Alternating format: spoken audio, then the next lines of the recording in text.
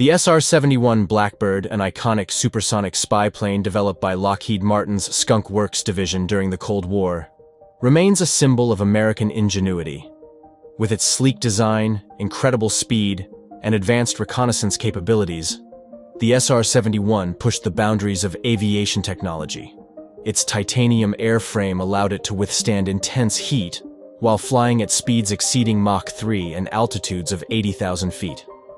Piloting the SR-71 required extensive training due to its complex systems and demanding flight characteristics.